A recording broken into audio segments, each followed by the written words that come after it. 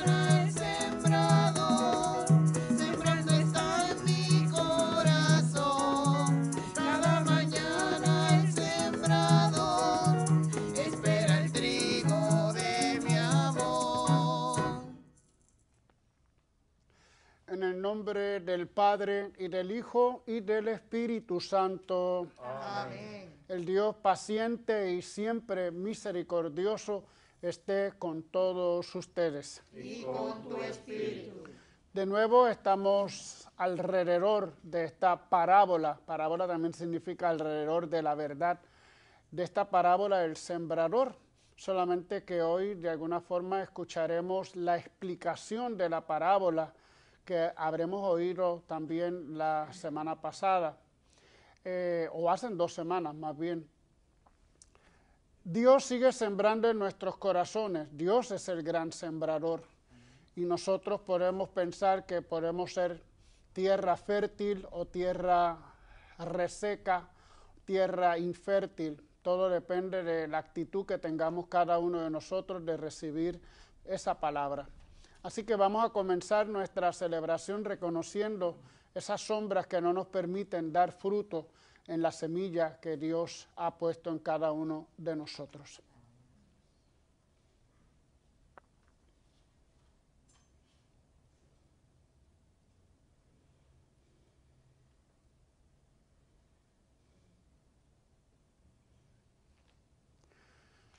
Decimos todos, yo confieso ante Dios Todopoderoso y ante ustedes, hermanos, que he pecado mucho de pensamiento, palabra, obra y omisión.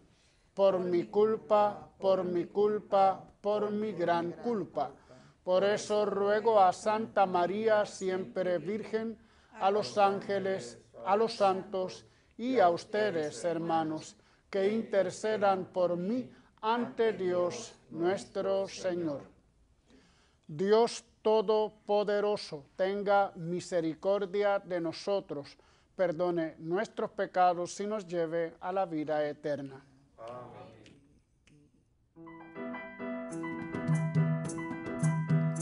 Tú que eres la plenitud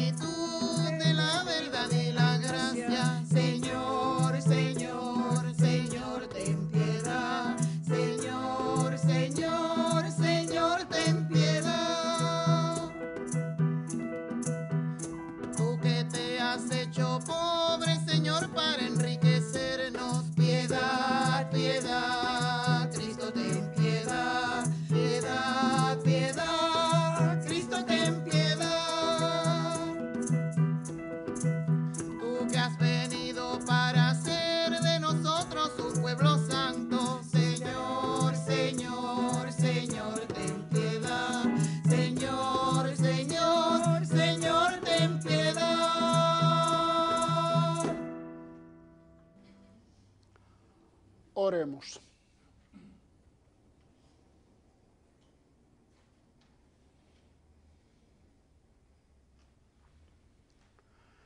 Señor nuestro, mira con bondad a tus servidores y multiplica en nosotros los dones de tu gracia, para que fervorosos en la fe, la esperanza y la caridad, perseveremos con asidua vigilancia en el cumplimiento de tus mandamientos.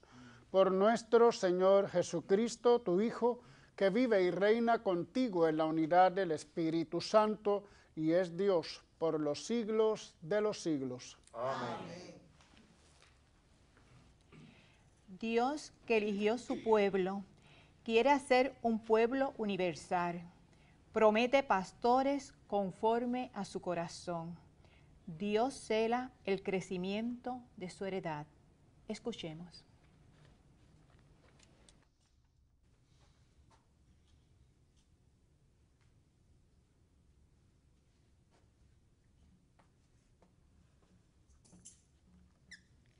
Lectura del libro de Jeremías. Volved, hijos apóstatas, oráculo del Señor, que yo soy vuestro dueño. Cogeré a uno de cada ciudad, a dos de cada tribu, y os traeré a Sión. Os daré pastores a mi gusto, que os apacienten con sabor y acierto. Entonces, cuando crezcáis y os multipliquéis en el país, oráculo del Señor, ya no se nombrará el arca de la alianza del Señor. No se recordará ni mencionará. No se echará de menos ni se hará otra. En aquel tiempo llamarán a Jerusalén trono del Señor. Acudirán a ella todos los paganos, porque Jerusalén llevará el nombre del Señor y ya no seguirán la maldad de su corazón obstinado. Palabra de Dios.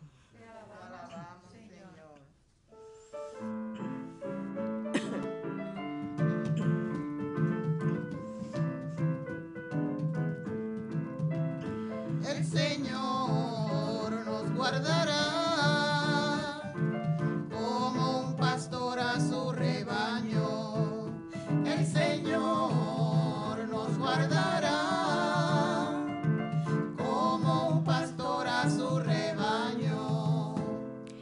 Escuchad, pueblos, la palabra del Señor. Anunciadla a las islas remotas.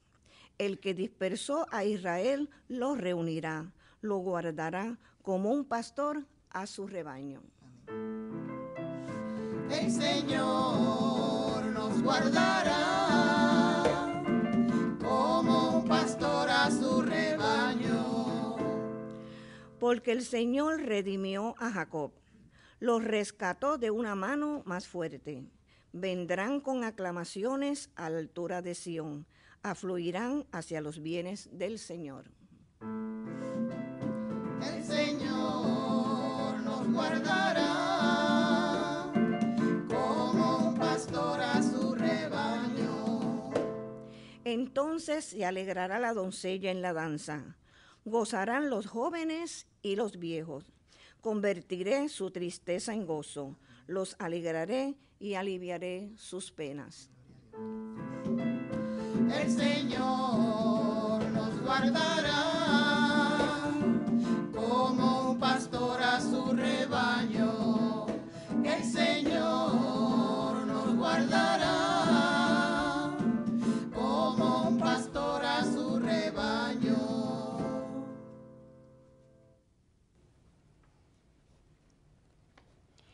La buena noticia es para todos y todos pueden oírla y entenderla. Unos la oyen, pero no la escuchan. Otros escuchan, pero son inestables y la ahogan. Pero los corazones generosos que escuchan dan fruto.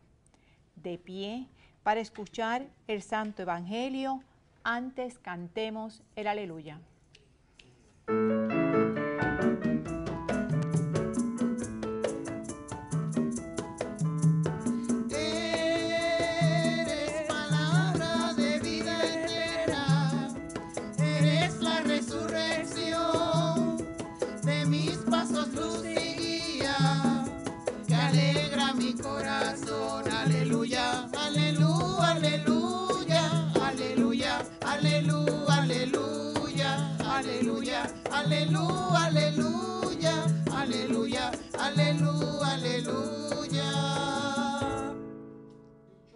Los que con un corazón noble y generoso guardan la palabra de Dios y dan fruto perseverando.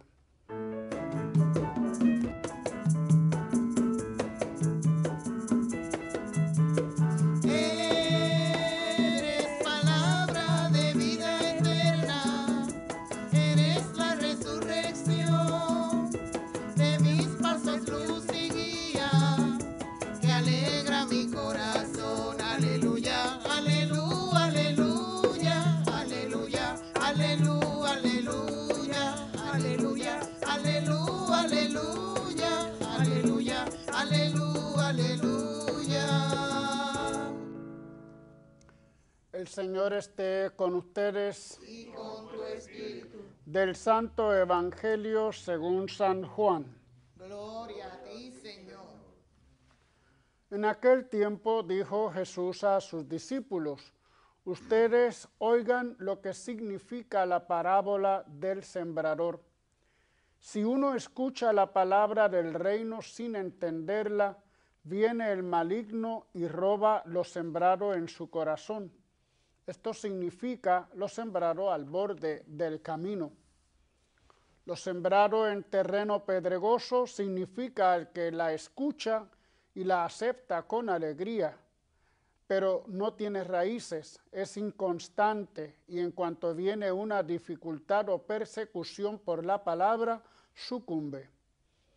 Lo sembrado entre zarzas significa el que escucha la palabra, pero los afanes de la vida y la seducción de las riquezas la ahogan y se queda estéril. Lo sembrado en tierra buena significa el que escucha la palabra y la entiende.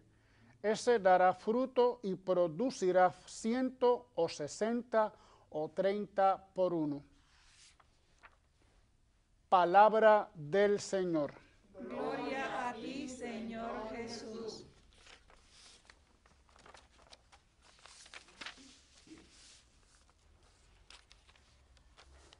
Bueno, pues en estos días, tanto en los días de domingo como en esta semana, hemos estado escuchando este discurso de parábola o discurso parabólico, así se le llama.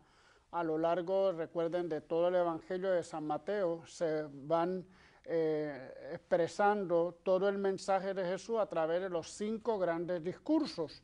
Y en el capítulo 13 encontramos el discurso de las parábolas son una serie de siete parábolas, de siete narraciones. Eh, algunas de ellas le llaman vegetales, porque son parábolas que están inspiradas en conceptos vegetales. La cizaña y el trigo, la mostaza, la levadura, eh, también la, la red, el tema también del mercader eh, de la perla, el tesoro en el campo son todas estas parábolas que encontramos a lo largo del capítulo 13 de San Mateo. El objetivo no es otro que presentar a Jesús como maestro. En, otras, en otros evangelios pues se nos dan otras connotaciones de Jesús, pero aquí es el motivo de enseñar. Jesús que incluso al, cuando dice que Jesús se sienta, este gesto de sentarse para comenzar a hablar, es el gesto del maestro que se sienta para hablar a sus discípulos. Hoy es al revés, hoy los maestros se quedan parados o los predicadores nos quedamos parados y la gente se sienta. Quizás la gente se dormiría menos, ¿verdad? Si estuvieran de pie, pero vamos, eh, así era la costumbre eh, de, aquel tiempo. Claro, Jesús no está en la sinagoga, está en una barca, en el medio, en medio prácticamente de la orilla de, del mar la gente le escucha de pie, no es el lugar, ¿verdad?, eh, clásico donde se predicaba o donde se enseñaba, era la sinagoga, pero sabemos que Jesús era rechazado continuamente por sus enseñanzas. Pero que era maestro y que Mateo nos lo quiere presentar como maestro, esto es lo que se va viendo a través de estas parábolas y de esta situación. Eh, hemos estado leyendo durante la semana algunos de los momentos de estas parábolas. Por ejemplo, eh, en un momento dado se expresa la, palabra, la parábola sin más. Es la parábola dicha, punto. De hecho, la única que se explica es la parábola del el sembrador, eh, eh, que es la que hemos escuchado hoy, la explicación. Son como tres partes. La parábola en sí, sencilla, sin explicación, es la única que se le atribuye propiamente a Jesús. Yo lo he dicho varias veces, que no todo lo que está escrito que lo dijo Jesús, lo dijo exactamente, pero hay cosas que sí, que los exégetas se ponen de acuerdo y dicen, esto sí lo dijo Jesús, y ahí ya hay una especie de, ahora la palabra es protocolo, ¿verdad? Hay una, una especie de criterios donde sabemos que eso lo dijo realmente Jesús. Uno de esos criterios es cuando dice, en verdad, en verdad les digo. Sabemos que cuando encontramos esa frase, eso es dicho por Jesús. Pero todo el Evangelio no está dicho por Jesús, está escrito, está historizado. Eh, y muchos de los elementos que se van diciendo en el Evangelio son añadidos, como es el caso de las otras dos partes. La parábola, ya decimos que es hecha por, dicha por Jesús, pero luego viene una explicación, que es la que escuchamos hoy. Esta explicación no la pudo haber dicho Jesús, por una simple y sencilla razón, por lo que es una parábola.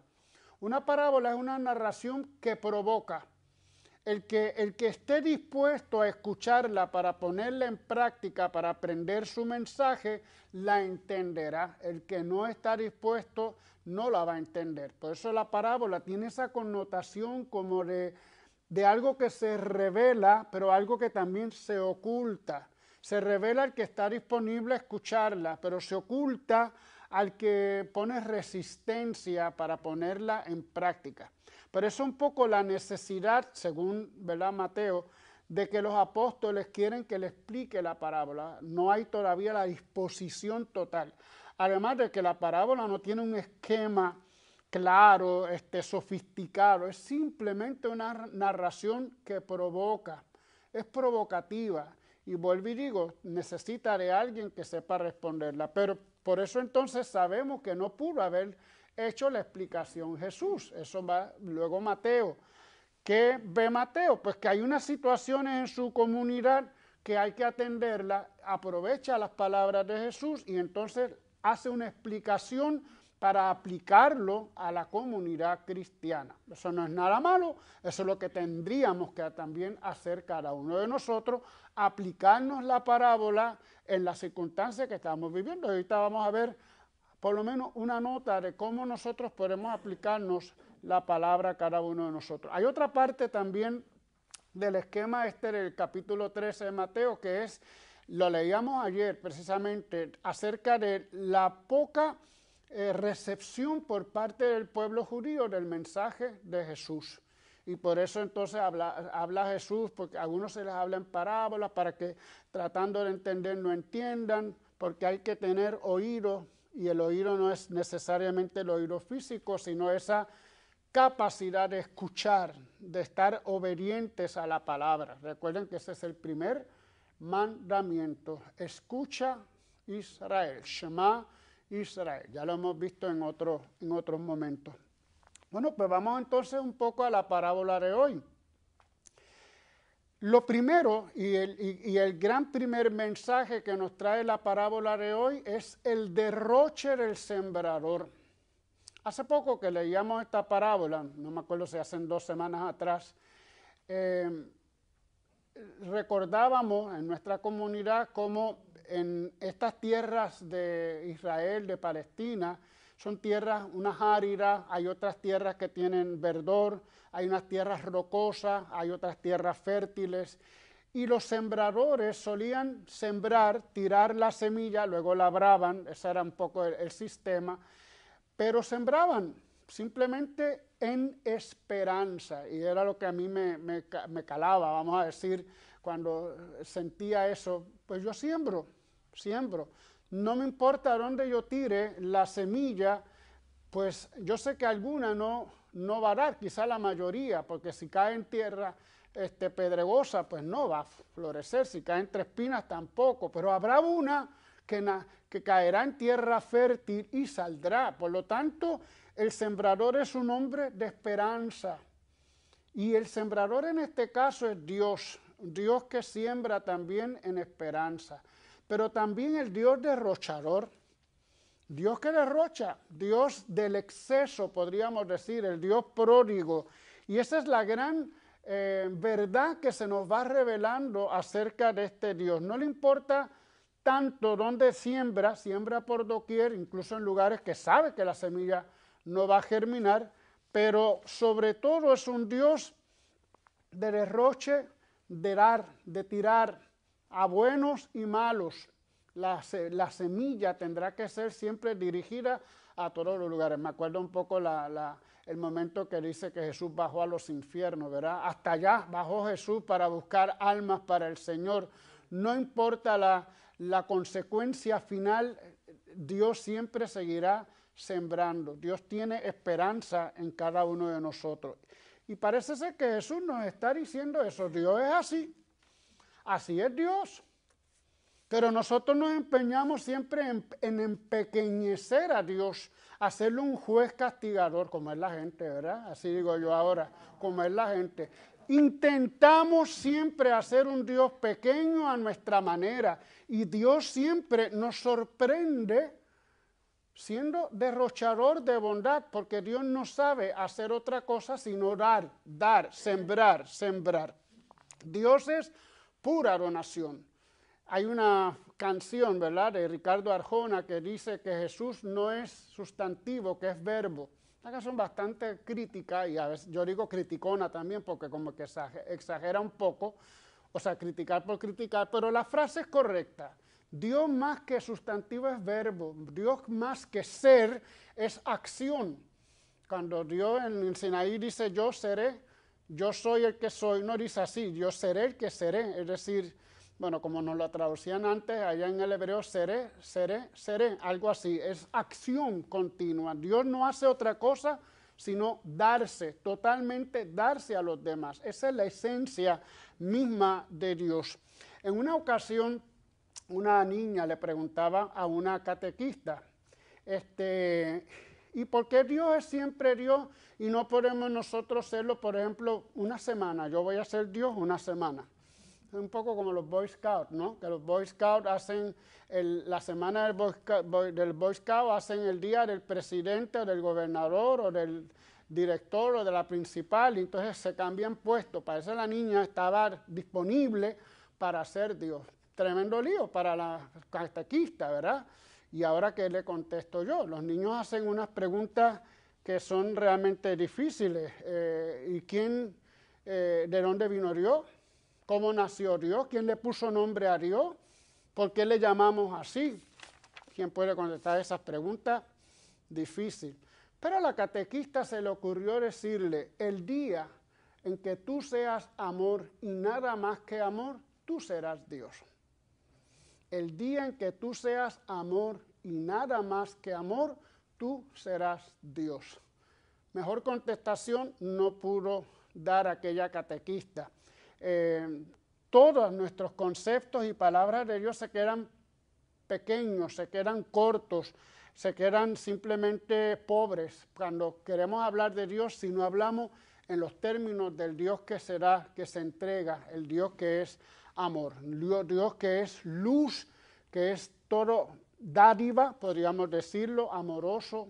Esa es la sabiduría, esa es la manera como Dios se manifiesta. Eh, y ese es el Dios del que nos habla Jesús, un Dios que siembra permanentemente. ¿Qué siembra? La buena noticia, la noticia del Evangelio. Y esa es la gran novedad que trae Jesús, que no nos habla de un Dios castigador, que no nos habla de un Dios que nos está ahí fastidiando la vida, sino un Dios que siempre está confiando, esperando en nosotros, dándonos su mensaje, sembrando, aun cuando seamos nosotros muchas veces terreno eh, estéril. El otro segundo rasgo de la parábola tiene mucho que ver precisamente si Dios es así, si Dios es dádiva, si Dios es amor, si Dios siempre está sembrando, la cosecha será abundante. En, en Israel se decía que ya el 7, el 7% de la siembra que daba fruto ya era un éxito, ya era excelente, el 7%. Si tu cosecha te da el 7%, recuerden que estamos hablando de lugares áridos, ya tienes una excelente cosecha. Pero Jesús habla de 30%, de 60%, de 100%. Exagerado, otra vez. Si Dios es exagerado, exuberante, pródigo, totalmente la cosecha será también de la misma manera. Por lo tanto, la parábola nos quiere recordar un poco esa exageración tanto del que provee como del fruto de eso que está proveyendo.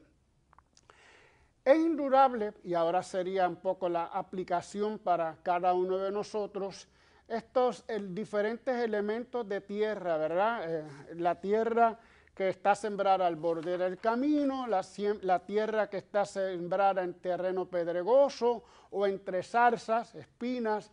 Esos significados hoy nosotros también nos los aplicamos. ¿Cómo es nuestra tierra? ¿Cómo es la tierra de cada uno de nosotros? Cada uno va a decir, ah, yo soy tierra fértil donde la palabra de Dios cae en mí. Eso se verá por los frutos. Eso se verá por los frutos. Hay personas por ahí que dicen y dicen y dicen, pero tú no ves los frutos. Hace poco por ahí se decía, yo solamente hago predicar el Evangelio, soy evangelista y evangelista toda mi. ¿Cuáles son los frutos de tu predicación, tu vida? ¿Cómo es? o estás llena de lujos, o estás lleno de lujos, porque eso es lo que el Evangelio te dice. Jesús vivió entre lujos y entre riqueza. Entonces tratamos de justificar muchas cosas. Ustedes sabrán de lo que estoy hablando. Bueno, por sus frutos le van a conocer. Realmente lo que nos dice también la palabra de Dios. ¿Cómo es nuestra tierra? A veces nosotros tenemos que reconocer que hay mucho cardo en nuestra tierra que hay muchas espinas, que a pesar de todo lo que la palabra se siembra en nuestros corazones, hay muchas sombras que nos habitan, hay mucho terreno pedregoso y no somos capaces todavía de permitir que esa semilla que ha sido sembrada en nosotros crezca para dar fruto y fruto en abundancia. Y eso lo primero que tenemos que hacer es reconocerlo. Bueno, sí, yo tengo que reconocer que en mí hay muchos nudos, en mí hay muchos miedos, mucha resistencia a esa palabra de Dios. Por eso es quizás que no doy tanto fruto como debería dar. Si comenzamos por ahí, tratando de aceptar lo bueno y lo malo que hay en mí, las luces y las sombras, el terreno fértil, pero también el terreno infértil, pedregoso, entonces yo podré estar más disponible para hacer de esta tierra lo que se llama el humus, esa tierra fértil donde la semilla puede sembrar. Pero para eso necesitamos humildad. Ahí viene la palabra humus, precisamente de humildad. Tendríamos que comenzar simplemente pensando en que tenemos sombras que a veces no nos permiten crecer como deberíamos pero al, comenzar reconociéndolo, comenzamos con humildad y así poco a poco la semilla irá germinando, brotará y dará su fruto. De eso se trata entonces que aprendamos de esta preciosa parábola su mensaje. Amén.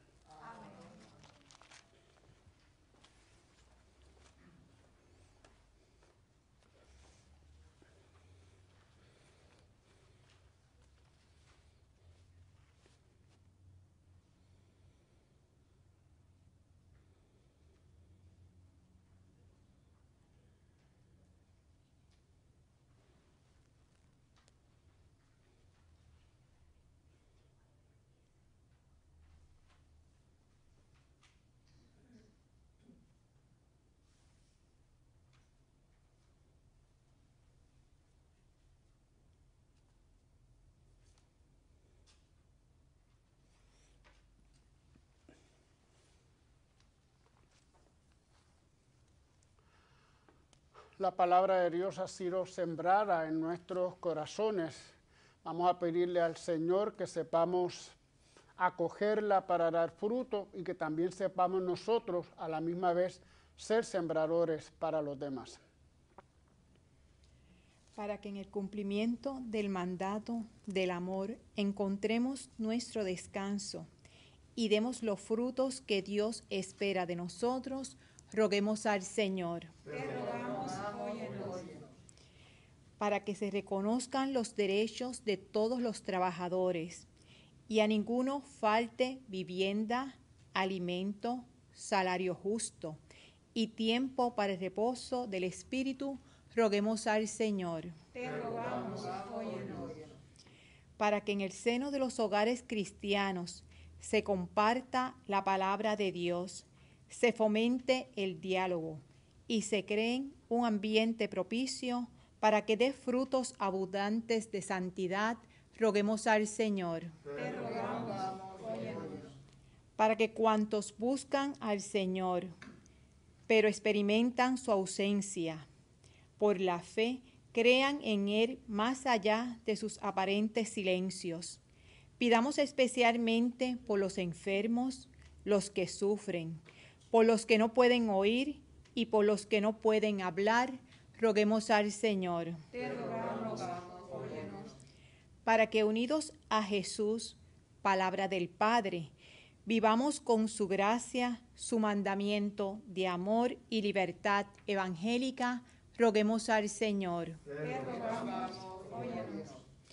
Por la salud de sacerdotes y diáconos, y por el bebé Joshua Joel Vicens, Norixa Figueroa, Felicita Galindo, Narda y Mindy Orange, Nancy Mercado, José Juan Álvarez, Santo Ponce Jr., Felicita Delgado, familia Sánchez Rosa, Carlos Valle, Carmen González, Nelson Aponte, María Cruz Vega, Delia Lozada, Irianés Pagán Figueroa, Cristian y Yolanda Crespo, Elmin Figueroa, Lidia Santiago, Marixa Cruz, Yanixa Soto, Juana Hilda Vieras, Jenny y Ángel Pereira, Luis del Río, José Miguel Torres Vendrell,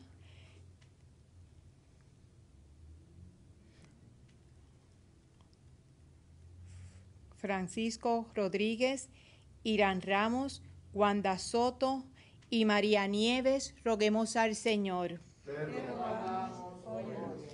Por el eterno descanso de sacerdotes y, diácono- y diáconos, y por Juan Miguel Muñiz, Arsenio Rodríguez Ortiz, Ángel L. Feliciano Montes, Manuel Mani Figueroa, María Cristina Maldonado, Roberto Abreu, Carmen Palmer, Yeli Galindo, Wandy Orange, Héctor Maldonado Polanco, María Luisa Torres, William Vargas, Héctor Vargas Maldonado, Carmen Iselín Maldonado, Eduardo Rafael y Enrique Maldonado, Tomás Sanabria González, Juanita González Cortés, Pedro Beas Díaz, Tomás Sanabria Jr., Miosotis Rive- Rivera, José Santiago, difuntos de la familia Franco Molina,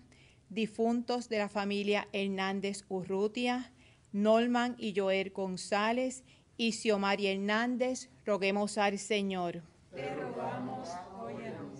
En acción de gracias por los 30 años de Alexis Feliciano Ortiz, por el bebé Dion José Padín en su primer cumpleaños, por la recuperación de la salud de Tomás Yamir y Emily Mendoza, y por los amigos y amigas de Teleoro, cuyas intenciones y peticiones han sido colocadas junto al sagrario, roguemos al Señor. Te rogamos, óyenos. Un saludo a una hermana, Miriam, de Villalba, cuyo esposo murió hace unas semanas. Eh, No tengo el nombre de momento, no traje su nombre, pero oramos mucho también por él y por ella y toda su familia. Por ellos roguemos al Señor. Te rogamos, óyenos. Señor Dios, fortaleza y refugio nuestro, escucha las oraciones de tu iglesia, concédenos por tu bondad lo que te pedimos con fe. Por Jesucristo nuestro Señor. Amén.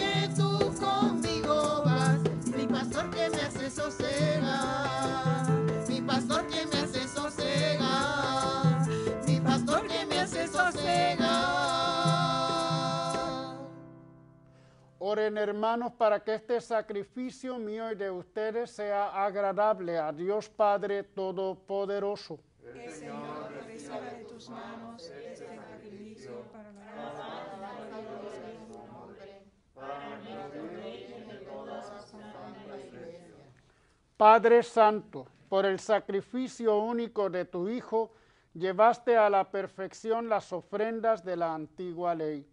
Te pedimos que recibas la oblación de tus fieles y la santifiques como lo hiciste con la ofrenda de Abel, para que los dones presentados en honor de tu nombre sirvan para la salvación de todos.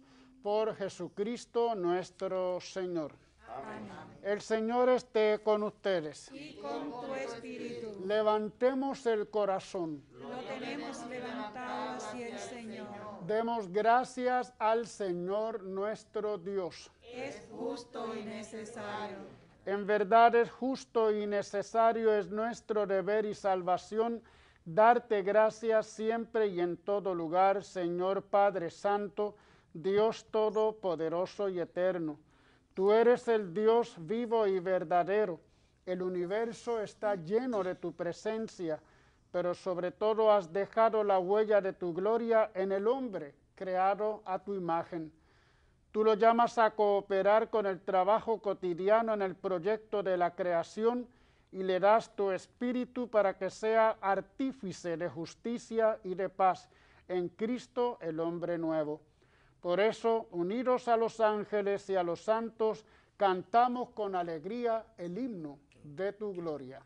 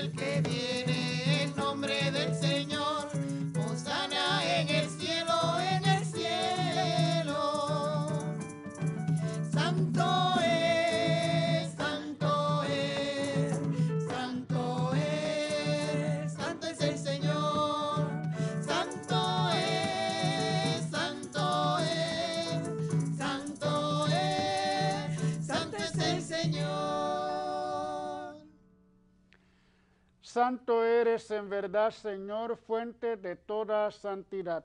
Por eso te pedimos que santifiques estos dones con la efusión de tu Espíritu, de manera que sean para nosotros cuerpo y sangre de Jesucristo nuestro Señor. Él mismo, cuando iba a ser entregado a su pasión voluntariamente aceptada, tomó pan. Dándote gracias, lo partió y lo dio a sus discípulos, diciendo, tomen y coman todos de él, porque esto es mi cuerpo que será entregado por ustedes.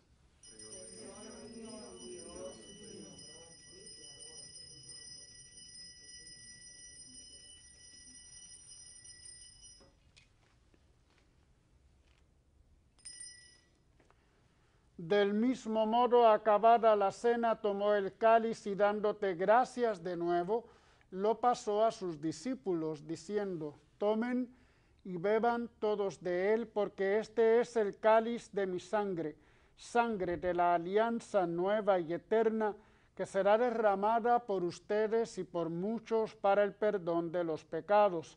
Hagan esto en conmemoración mía.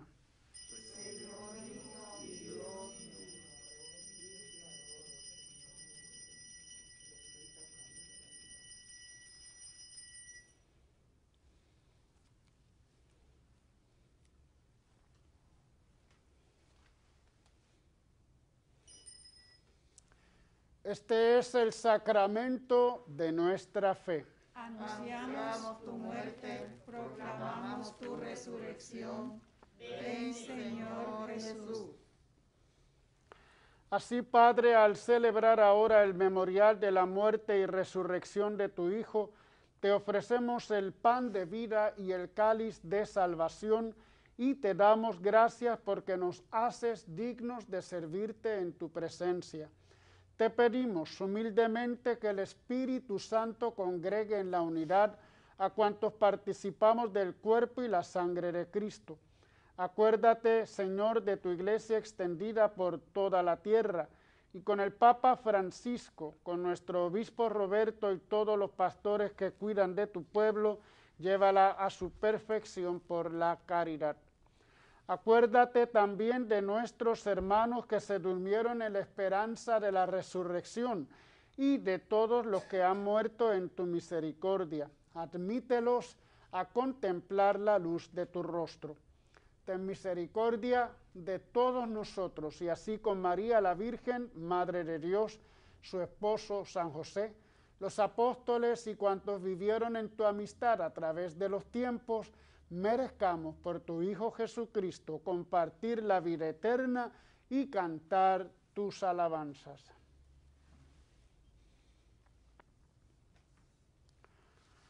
Por Cristo con Él y en Él, a ti Dios Padre Omnipotente en la unidad del Espíritu Santo, todo honor y toda gloria por los siglos de los siglos. Amén,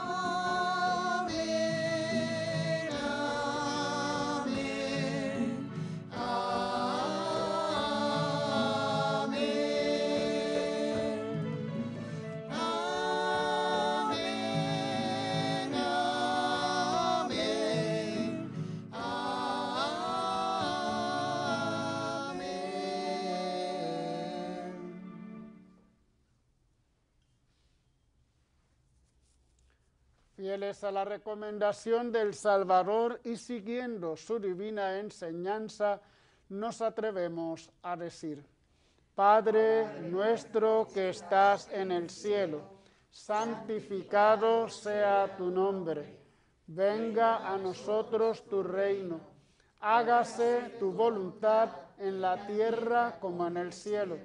Danos hoy nuestro pan de cada día Perdona nuestras ofensas, como también nosotros perdonamos a los que nos ofenden. No nos dejes caer en la tentación y líbranos del mal. Líbranos de todos los males, Señor, y concédenos la paz en nuestros días para que, ayudados por tu misericordia, vivamos siempre libres de pecado y protegidos de toda perturbación, mientras esperamos la gloriosa venida de nuestro Salvador Jesucristo. Tuyo es el reino, tuyo el poder y la gloria por siempre, Señor. Señor Jesucristo, que dijiste a tus apóstoles, la paz les dejo, mi paz les doy. No tengas en cuenta nuestros pecados, sino la fe de tu iglesia. Y conforme a tu palabra, concédele la paz y la unidad, tú que vives y reinas por los siglos de los siglos. La paz del Señor esté siempre con ustedes. Y con tu espíritu. Nos damos fraternalmente un saludo de paz. La paz de Cristo con cada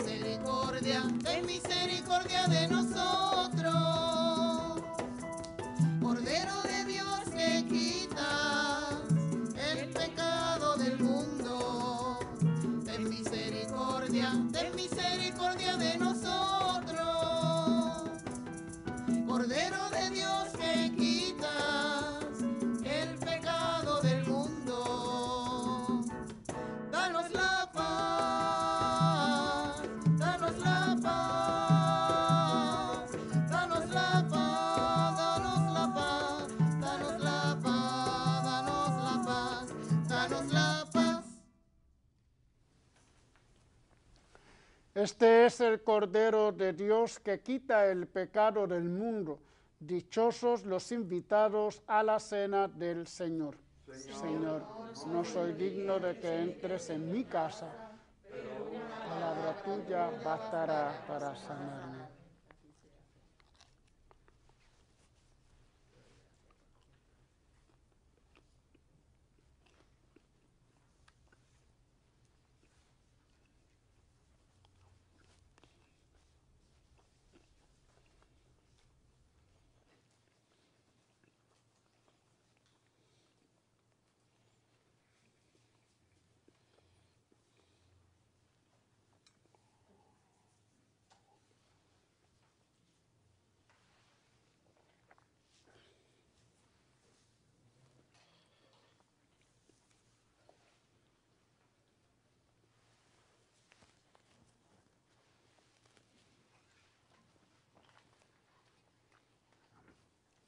Vamos a presentar el cuerpo de Cristo para que luego comu- comulgamos totalmente en silencio.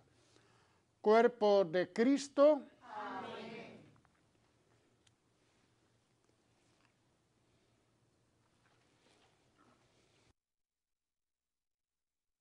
Invitamos a nuestros hermanos y hermanas televidentes a hacer la siguiente comunión espiritual.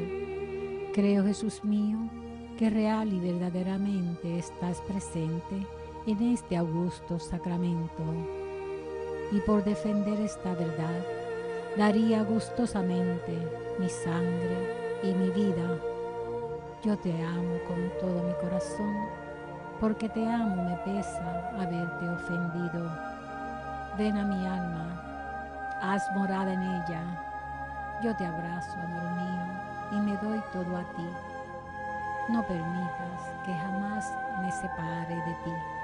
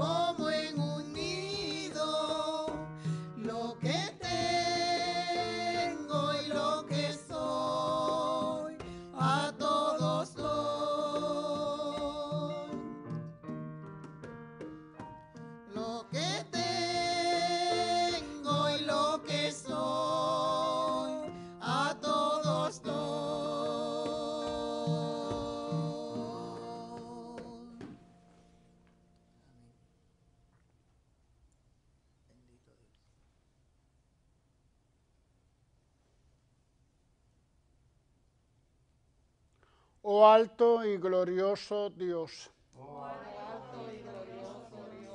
Ilumina las tinieblas de mi corazón. Y dame fe recta. Esperanza cierta. Caridad perfecta. Sentido y conocimiento, Señor. Para que cumpla tu santo y veraz mandamiento.